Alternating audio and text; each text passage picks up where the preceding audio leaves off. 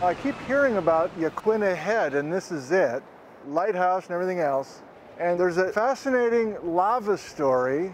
I'm not sure I believe it, but I think that there's some detail in this lava that will tell us something surprising. Spend just a few minutes with geologist Nick Zentner, and it's clear this man loves rocks. Unbelievable. This is so frickin' cool. I can't believe it.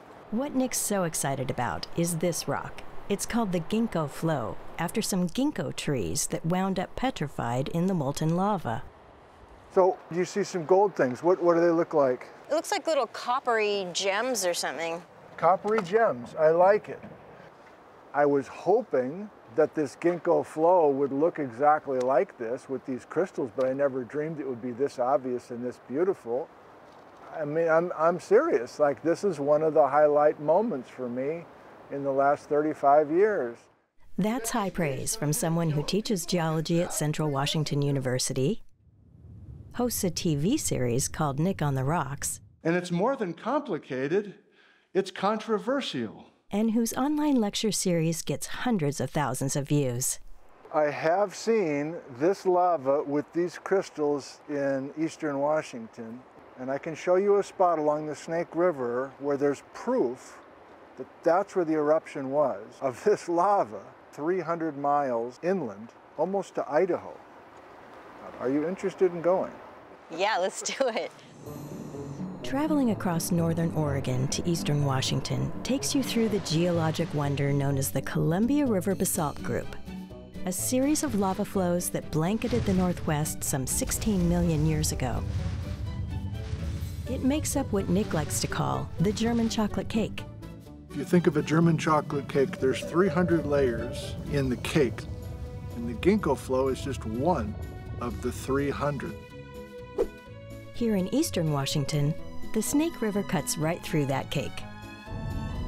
Pretty soon, we're headed off road to a place Nick's heard about, but never actually seen. I'm hoping when we round this corner, we'll see this obvious kind of fin like wall. Let's get the drum roll out. I think that's, that's it. it. I think that's it. Wow. Like, how would you describe that shape of those things? It looks like a Christmas tree to me, with just the center going up and the branches kind of. it kind of does, doesn't it? So we're looking inside of this German chocolate cake. All the layers are horizontal.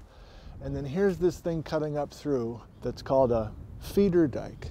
And this is the ginkgo flow. This is the same one we saw at the Oregon coast. This is ground zero for that flow. And to make sure this is the ginkgo,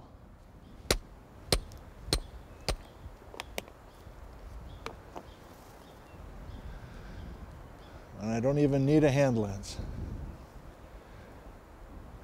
There's our orangey crystals. These orange crystals. So that's our telltale puzzle piece. Yeah. I mean, God, that is. I've seen photos of this for like 30 years. It is kind of a thrill to be here, I gotta say.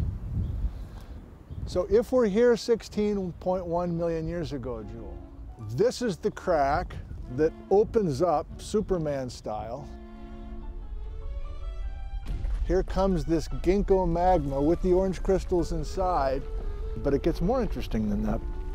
It's not just one point of fire fountaining, but this crack is tens of miles long across eastern Washington, so to have this curtain of fire. You've got this hot syrup that's now starting to flow. Why, why is it just basically heading west? What do you think? Uh, slope? Yes. I think Oh. we can just say, so, so most of this isn't rocket science. You're just it's using- rock you're- science. It's going to try to follow a valley. The Snake River's right here. Was the Snake River the thing to follow all the way to the coast?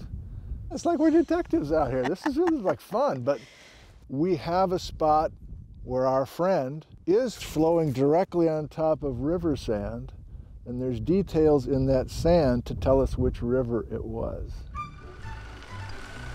From this remote spot along the Snake River, we make our way down through the Palouse Hills.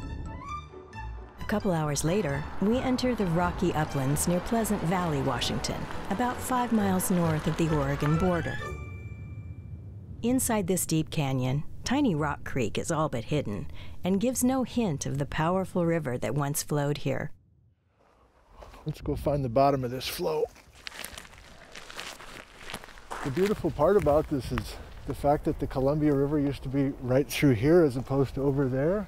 Wait, the, the Columbia River ran through here? Columbia. here?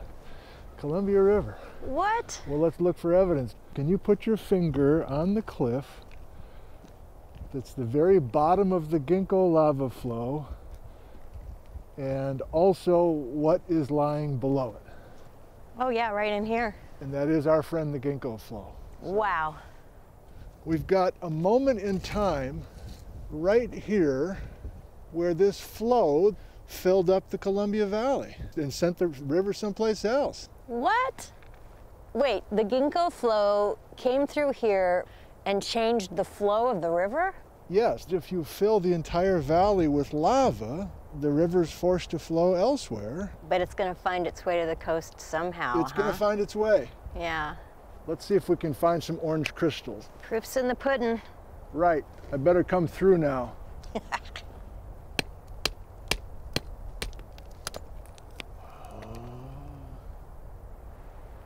There it is. Wow, so it's for sure ginkgo. It's for sure ginkgo. Super cool. Having traced the ginkgo through the valley that once held the ancient Columbia, we head into the mighty river's modern course, an estate park called Crawford Oaks near Maryhill. And yes, we're standing on top of our friend the ginkgo flow. If the ginkgo makes it to the ocean, where would you assume the ginkgo is going to get to? Astoria. Astoria, the mouth of the Columbia. That would be the, the logical thought. Yeah. But then a branch of this flow is going to get to Yaquina Head. And which direction is Yaquina? Well, let's get up in the air. Yaquina Head in the Newport, Oregon area is essentially as the crow flies that way where Mount Hood is today. Um, you might have to explain why Mount Hood's sitting there. Well, Mount Hood is a giant, beautiful mountain, but it's a baby. It's less than one million years old. And remember, this is a 16 million year old lava flow. So it just happens to be that today Mount Hood is this cherry on top of this old, buried, fossilized Columbia River Valley. Isn't that cool? That's amazing. And there's a place in the Willamette Valley where there is ginkgo flow and a major waterfall coming over it at a secret spot. Out of the rocky and dramatic Columbia River Gorge, we drive southwest into the verdant green of the Willamette Valley. Wow, look at all the snow. Mm, sort of. This is North Falls at Silver Falls State Park near Silverton. Here, flows of Columbia River basalt form sturdy cliffs for a series of thrilling waterfalls. It's another spot where the ginkgo likely flowed right into the course of an ancient river. Maybe we have to go back behind the waterfall to see it. So the question is, is this the sandstone? I think it is. Wow. I think it is. Oh, look at that. That's sandy. Yeah, it's the sand now.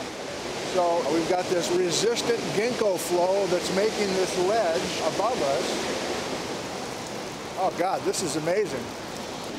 So if this is Columbia River sand, great. If it's not Columbia River sand and it's a different river that was cross-cutting through south of Portland, that's fine too. It doesn't matter. What matters is that this is our same ginkgo flow. And as much as I'd like to break this thing open and look for orange crystals, I know we're in a state park. It's probably not a good move, right? But this is the ginkgo flow.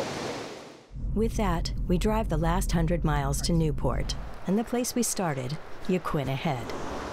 Pretty nice. This time, we're topside. So the ginkgo flow ends here. Yes.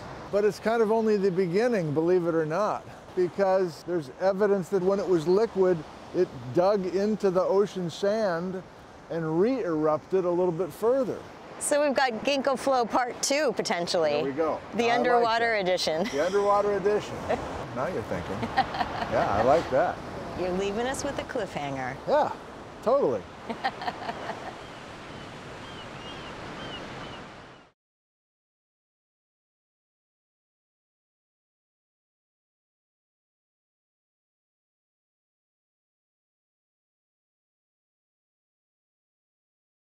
Great people just doing their thing in their own Northwesty way. We love bringing you stories like this. Support what you love. opb.org slash video.